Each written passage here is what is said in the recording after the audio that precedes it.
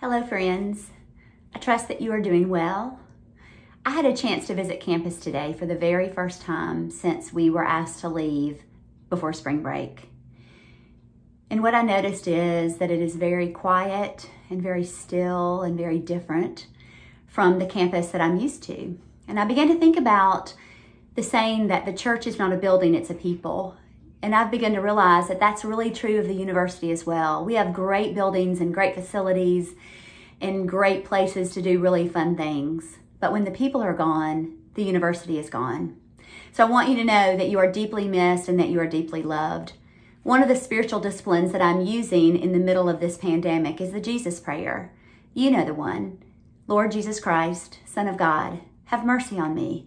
It's the prayer of the blind man who calls out to Jesus and is told to be quiet, and yet he yells even louder Lord Jesus Christ, Son of God, have mercy on me.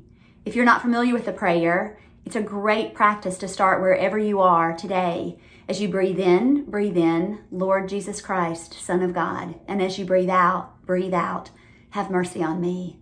Ultimately, what do we all need in the middle of this pandemic?